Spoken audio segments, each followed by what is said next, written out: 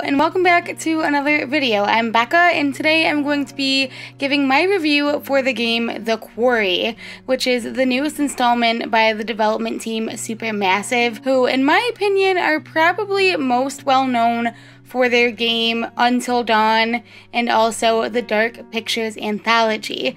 Until Dawn is one of my favorite games, although I do play a lot of cozier games. I do sprinkle in some horror from time to time, and I've been playing Until Dawn since it first came out. I've played it probably well over 10 times. I love that game with my whole heart, and I will pretty much get any game that this development team puts out. We've been making our way through the Dark Pictures anthology on stream, and so of course, when I heard that The Quarry was going to be coming out, which is basically the spiritual successor for Until Dawn, I knew that it was going to be an instant buy. This is going to be a spoiler free review review talking about my thoughts on the game after one playthrough. I feel like the ending that we got was a pretty decent ending. Most of the people survived, so I can speak on my experience even though we didn't get all of the clues or all of the information that we could have gotten in the game. I still feel like I can give some of my thoughts and opinions on this first playthrough with the intention of going back and getting more of the evidence and all the different endings at a later date. The quarry takes place at Hackett's Quarry Summer Camp. It's the end of the summer camp season, and as the game opens, we see the camp counselor group saying goodbye as a school bus drives off with all of the campers. We start out as the camp counselors are gathering their belongings and preparing to go home, but of course, a wrench is thrown in their plan or in their van more appropriately, because their van breaks down and they're forced to stay one more night, much to the dismay of the runner of the camp, Christopher Hackett, who is very concerned that the group of kids are going to have to stay another night. He seems like he's trying to rush them out as quickly as possible, and as he drives off to get help, he tells them to make sure they stay in the lodge, lock the doors, and don't let anyone in, and nobody go out. But of course, a group of teenagers do the exact opposite and decide to plan a party in the middle of the woods as a final hurrah before leaving summer camp. What they were not expecting was to be pursued by a group of monsters, both human and paranormal, because the woods around Hackett's Quarry hold a lot of secrets that this group of counselors are going to uncover as the night goes on. Will the counselors make it through the night? Your choices in the game will decide their fate. So, jumping right into my thoughts, I have this review broken down into a lot of different aspects of the game. So, like I said, I have only given this game one playthrough, so I don't know all of the possible endings, so just be gentle with me on that. I do intend to replay the game in the future to find all of the clues and get all of the evidence. And hopefully the story pieces together a little bit more than what we had. But I do feel like for a first playthrough we did pretty well. Only four of the camp counselors died and two of those were very late in the game. So for the most part we kept almost everyone alive. We did what the game was wanting us to do I think and we got a pretty decent ending. So let's start out with talking about the way that I play the game. I mentioned that I play the game on PC, I played it through Steam. All of the other Supermassive games I've played have been on my PS4. That's how I've played Until Dawn and the Dark Pictures anthology games. But for this one, I wanted to change it up a little bit for a few reasons. One, because I have a lot of PC games, and so I figured that it would be a better way to be able to play it and stream it without having to worry about hooking up my PS4 because those really are the only games that, that I use my PS4 to play. So I'm not very well versed with PlayStation. I'm more of a PC and Nintendo gamer. So when it comes to mechanics like QuickTime events, those typically don't go very well when I'm playing on my PlayStation because I'm not as familiar with the buttons. So I wanted to to take this opportunity to switch it up a little bit. And overall, I thought that my experience with QuickTime events and just button knowledge was a lot smoother playing on my PC than it would have been on my PS4. And that's just because I'm more familiar with my keyboard and my mouse and things like that, and I'm not as familiar with the PS4 controller. However, there were a lot of issues with the game on PC. And from what we could find, it was not as buggy on the PlayStation.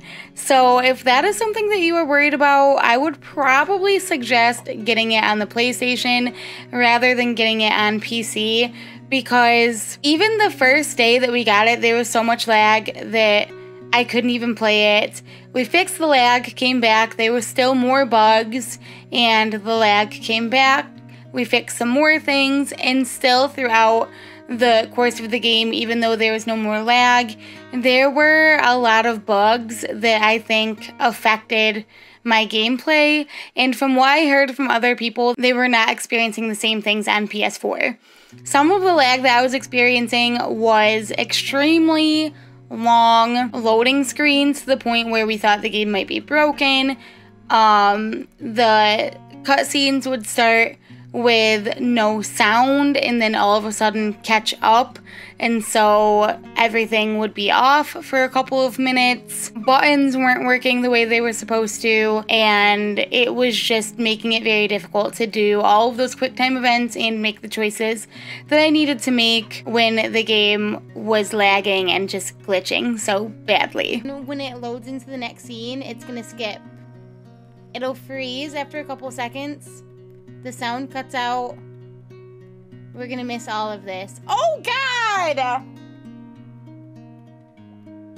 Ma'am?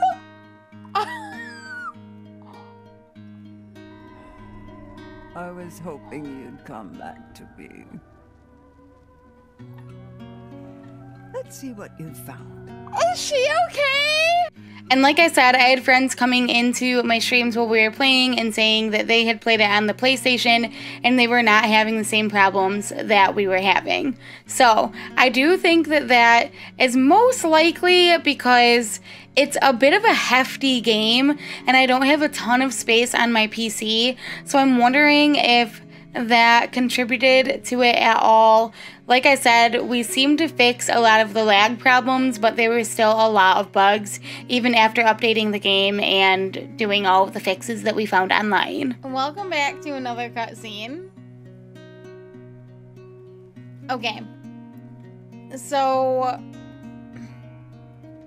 Never mind. We're good. Sure they're, they're getting shorter. Sure, they're all ready to go. For real this time.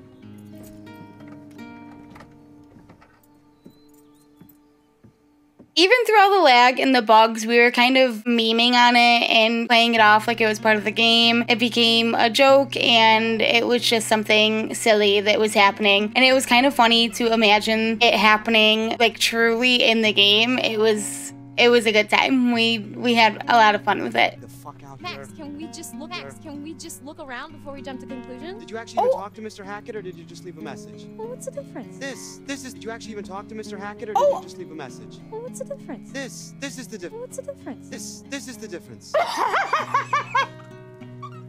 oh no! Hello? I guess he doesn't check his voice.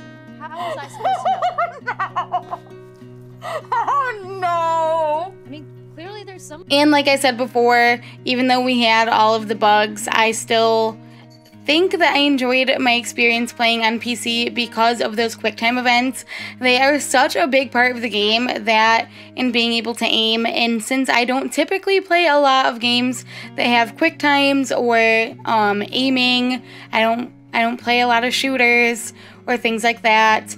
So I know for a fact that I did way better on PC than I would have done on PS4.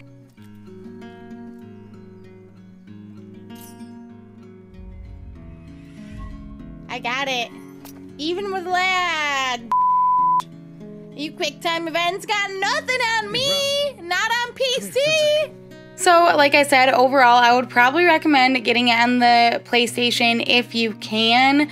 But if you are not as familiar with those buttons, you kind of have to weigh what you prefer. Do you mind having some bugs in the game and having to work around that sort of thing in order to be able to possibly play the game better with having more familiarity over mouse and keyboard, or would you rather have a lag free experience and possibly not have as many people survive if you don't have the familiarity of the PlayStation 4 controller? Moving on to the graphics. The graphics in this game were absolutely stunning. At the beginning of the game, you get to see some shots of the lake and just the woods and the surrounding camp, and it was gorgeous. There were a couple times when the characters would be hiking and they stopped on an overlook to see the lake, and it was just the sprawling landscape. It was so beautiful. So I really enjoyed that aspect of it a lot. And the quarry has a really cool aesthetic where it blends modern, all of the characters have cell phones and listen to podcasts and all that jazz, with more retro because a lot of the aesthetic of the game is kind of old school, almost like um B list, C list movies, VHS tapes. One of the mechanics of the Supermassive games is that you can kind of see the different path that your characters have taken and cause and effect throughout the course of the game, and that was presented to you. Each path was presented in sort of an old school VHS horror movie cover, which I thought was very clever. And then cycling through the different path options, it was laid out like you were combing through a VHS tape. For some reason, we could not get the mechanic of going through the different path to see the cause and effects to work. I tried a variety of different buttons. I didn't look it up, so I will say that, but it wasn't very intuitive to kind of work through the path. And I would have liked to go back and check every time a path was updated to see kind of what was going on in each character's story so far, and unfortunately, we weren't able to do that. So I'm hoping that in future playthroughs, we'll be able to figure that out so we can keep kind of a closer look at each character's story as the game progresses. So that kind of moves us into the mechanics of the game. If you're unfamiliar with the style of game, you haven't played Until Dawn, you've not played the Dark Pictures anthology games, they this development team does a really cool thing where it's almost like a butterfly effect style gaming, where the choices you make in the game affect the outcome of the game. And it can be as little as picking up a bracelet, it can be as big as choosing left or right, choosing to hide or run,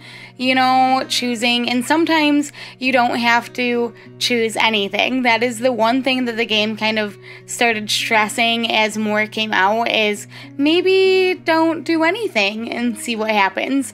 And so it just opens up a world of so many different possibilities and different outcomes, which increases the playability. I know, like I said, I've gone back and replayed Until Dawn, and I've never gotten a perfect game. I've never gotten all the clues. I've never I might have gotten it where everyone lives, but I've never 100% of the game and I've never gotten it where any where everyone dies. So I'm currently still even years later working through all the different possible outcomes of that game and then we are going to slowly work through the possibilities in all of the other games, the quarry included. So I think in that regard, the butterfly effect mechanic is one of the most genius game mechanics that you could possibly have because it's increases the playability and it makes you feel a lot more connected to the game as you're playing because the choices that you're making really do affect what is happening to the characters and Um, one of the things that I didn't like as much for the quarry, but I think that it was probably a good move, is that some of these choices were very vague. There were mechanics, like I said, they're quick time events.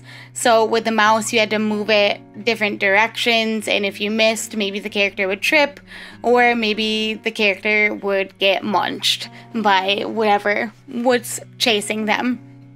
But there was also a mechanic where you had to button mash. Uh, for me, it was I had to button mash the W key, but I know on controller it would have you mash like the X button or something like that, whatever. You don't really know like what the outcome is going to be when you're doing that. It's just what the game wants you to do. And so it was what I was doing. And I will say, if I could go back and not do that, for a couple of them, I definitely would. So there were times when I was sitting there just punching the wall, being like, I wish I would have known that that was going to be the outcome. I wish that it would have given me a little bit more information. And that could have been because I didn't have all the clues, or that could just be the game just being vague, just to be vague. Because that's what makes things more fun, more frustrating, but definitely more fun. Along with all of that, obviously I mentioned that you're picking up clues along the way and all of the different games have like a different object that you have to kind of collect to see into the future to kind of help you with your choices, the different ways that uh, the game could play out. And until dawn, there was a lot of indigenous lore. So you were collecting pieces of totem poles. In the quarry, you were trying to collect tarot cards. So then at the end of every chapter, you go and a character tells you about the tarot cards that you collected, if you collected any, and then you have the opportunity to choose only one of the tarot cards to see the possible future. Whereas in Until Dawn, you're collecting pieces of several different totem poles.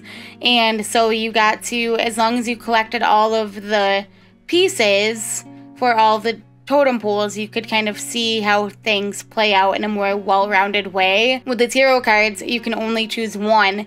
So you're kind of picking and choosing, okay, what.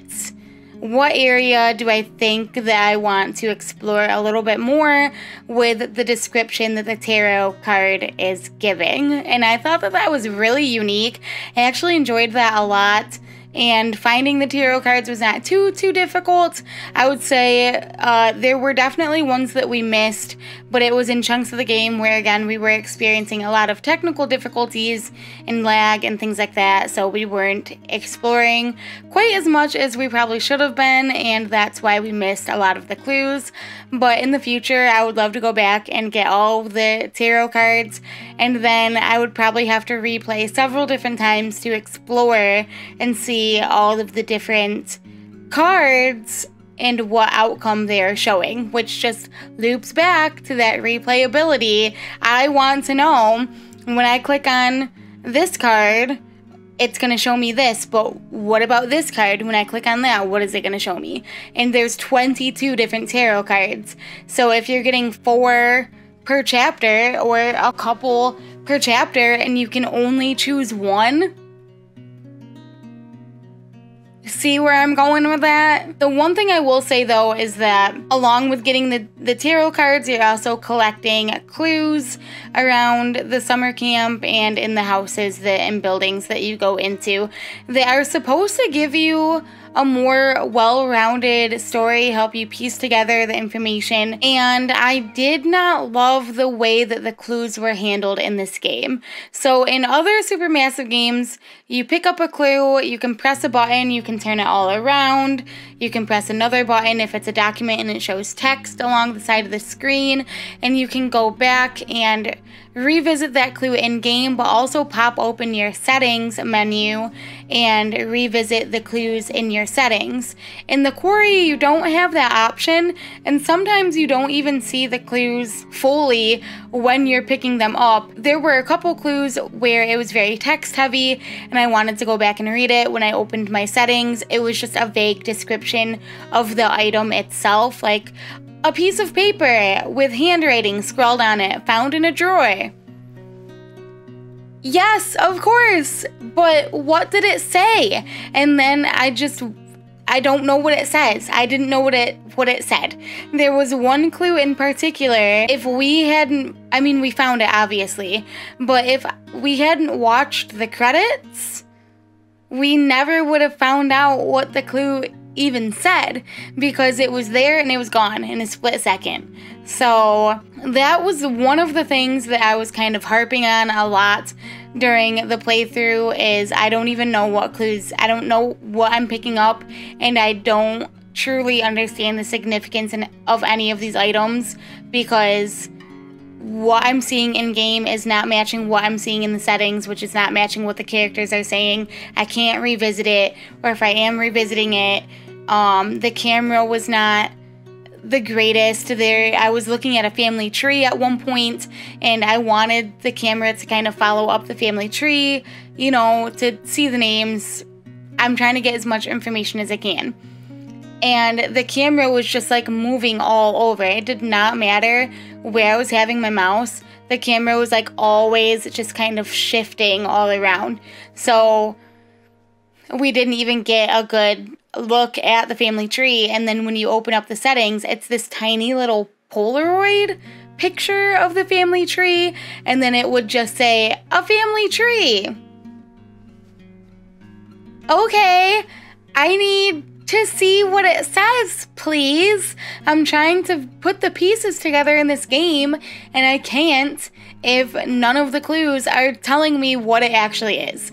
So that is one aspect that I did not enjoy at all and it was actually a little bit frustrating. So I wasn't feeling very connected to the story as much as I have been in games past because I just the game itself was glossing over the information, which was a little frustrating for me. Another thing that is it's part graphics, part mechanics, so I'm kind of throwing it in this section, is if you're familiar with these games again you are given choices. You're giving you're given a lot of different ways to make choices. You have the quick time events you have dialogue choices where a person will be in a conversation and then it will pop up with two options on the bottom both very vague and then it kind of steers the conversation.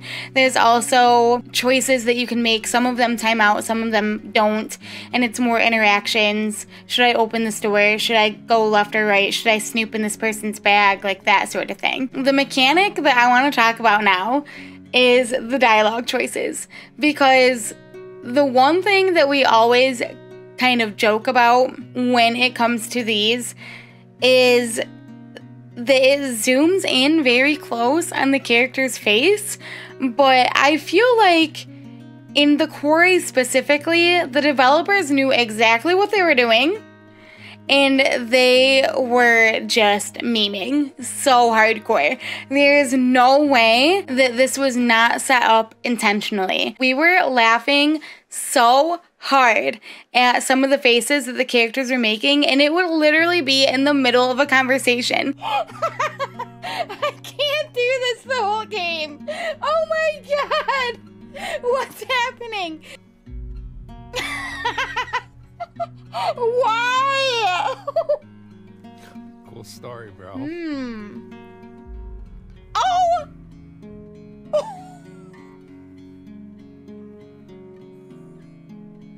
oh no.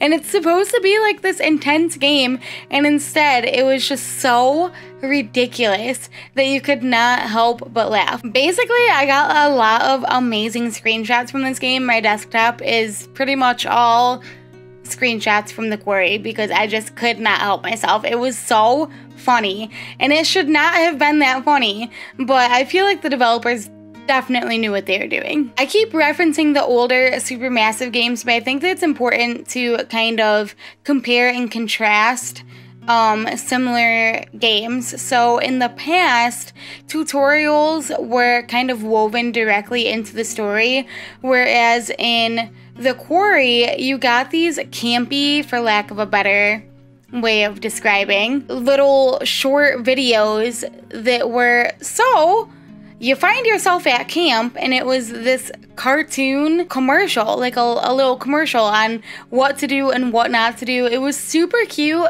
A lot of people in chat were saying that it was very similar to commercials in WandaVision.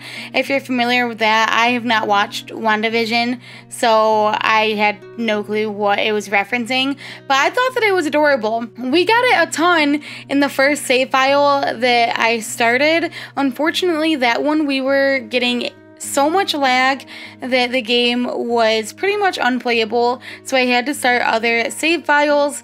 And when I did that, at some point we realized that we were not getting any of those videos anymore. And I thought there was the strangest thing. So I don't know if it's tied to just the first time you are experiencing it in the game, but I wish that it would have been in every save file, even though, of course, like we know how to play it, I guess, because we've had save files in the past. But they were so cute and adorable and so unique. I loved them a lot. And the last mechanic that is kind of unique to the quarry but was still present in the older games was don't breathe mechanics. And in Until Dawn, you had Don't Move, where you had to keep the controller very still. And the Dark Pictures anthology, they have like a heartbeat mechanic that is kind of Don't Move, and you have to time buttons in time with like a heartbeat, which is kind of cool. And then the quarry has Don't Breathe, where it will prompt you on screen and then you have to press and hold a button. And on the sides of the screen, it starts kind of counting down. So once you get all the way to the bottom, you move. It seems like you move regardless of if you release the button or not. I couldn't really figure that out because most of the time I didn't let the timer run out all the way. And as you are holding your breath, you can see an alert of whatever threat is around you kind of moving with a red light. It's kind of like a proximity light. So when the light gets dimmer, the threat is further away. So you can kind of judge when you want to move, if it's a good time to move, and you have to be careful. Like you don't want to move too soon, you don't want to wait too long. I really enjoyed that more than the other don't move mechanics from the older games, but I don't think that I ever fully figured them out. Moving on to my spoiler free thoughts on the story for The Quarry. Overall, I will say that unfortunately, I was pretty disappointed by the story. Of course, I played it from start to finish, so even though I wasn't loving it, I still stuck it out. I think my biggest disappointment was that about an hour into the game, not even, it was pretty much in the opening sequence. We clocked what the monster was going to be. When I was going back and looking at my VOD, someone in chat clocked what the kind of subplot was going to be as well. And we were not even out of the opening sequence. So that was very surprising to me because, especially in Until Dawn, one of my favorite things to do is play Until Dawn with people who haven't experienced it before. Because 100%, most of the people who have not experienced it will not be able to guess the twist or the story as it comes together. I love when pieces of puzzles fit together all of a sudden and you're gathering all this evidence and then all of a sudden things make sense. So the whole time, I found myself saying, There's no way that it can just be this. There's no way. So, my biggest takeaway is if you think that you have it figured out in the opening scene, you probably have the whole game figured out in the opening scene. I guess do with that what you will. It does not get much deeper than the theory that you have. We were coming up with loads of different theories through the en- entirety of the gameplay and not a single one played out. And the theories that we were coming up with were a lot more complex than what the story ended up being. So that was incredibly disappointing for me being such a huge fan of these games. I I feel like it must have gotten nerfed along the way. And even though there are serious content warnings for intense body horror and gore and violence, I don't think that it was quite as bad as I thought that it was going to be. And I don't know if that says more about me than anything else, but I was definitely left wanting more and not in a good way. I love these games so much. I love this development team. I will continue to buy literally anything that they put out. But in the grand scheme of things, the Quarry I thought at the beginning that it was going to bump Until Dawn out of my number one spot. That is where the game was leading up. By the time we got to the end, we all were kind of just like, well, I guess it's over. I don't know. I don't know. So, um, the ending, even though it was one of the better endings, it was incredibly unsatisfying. And I just feel like the story was not as fleshed out as it could have been. So that was that was a pretty big letdown for me, I'm not gonna lie. I have a lot of thoughts about the story of the game and I don't want to get too much into it. Like I said, I want to keep this as spoiler free as possible. If you do want to hear more of my in depth spoiler thoughts on this game, let me know down below in the comments and I will make I will make that video because I have so many thoughts to discuss and I don't know. I was just, I was very let down by the story in this game, which is frustrating because I, I love these games with my whole heart. I just love them with my whole heart. It kind of just felt like there were a lot of half started ideas that ended up getting tossed to the side. And every time something new popped up, we were like, ooh, what is this gonna be? This has to be XYZ. This has to go with this. Maybe it goes with this. And we were popping off with all of these different theories and ideas, and then none of them played out. A lot of the things that popped up were a very one and done type thing. You find a piece of equipment, that's it. You find a letter, okay, you find this other weird trunk full of things. That's it. Like, nothing really came together beside the main plot, and even that was pretty weak. It's pretty weak if the game is basically shoving the monster and what the game is going to be about down your throat in the opening sequence. When in all of the other games, there have been major twists and turns in the third act as everything kind of ties all together and that just that just did not happen. It was almost like the game was almost going there and then would pull back. And then it would almost go in another direction and then no.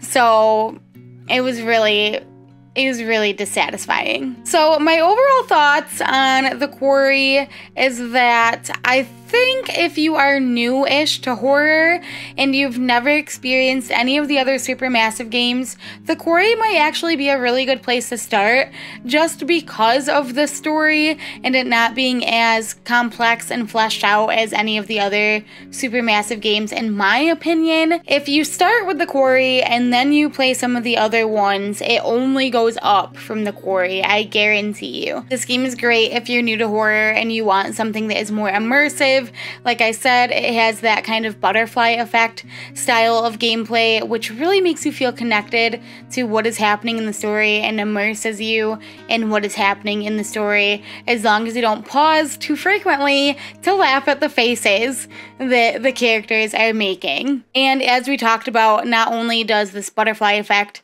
style increase the playability, but it helps with immersing you in the story as well as you work to complete the game in a variety of different ways to get all of the clues, all the different outcomes, and kind of see the fate every possible fate of all of the characters play out. That is the one thing that will keep bringing me back to Supermassive games. Even if the quarry wasn't my number one choice, Am I going to replay the game? Yeah. Is it because I loved the game and want to experience the story again? No. Is it because I want to see what happens when I make this choice over that choice? 100%. What happens when I see this tarot card instead of another one? What happens if I go left instead of right? Those are the reasons that keep bringing me back to the supermassive games because for these style of games, I will always want to be a, a, completionist with them because I want to get all the clues. I want to experience all the different outcomes and I want to see the game as a whole every way that it has been intended to be played. There were definitely some fun moments. There were some really intense fun parts to play. I enjoyed the dialogue in this game a lot more than in games past. It didn't seem as cringy. The graphics were absolutely stunning.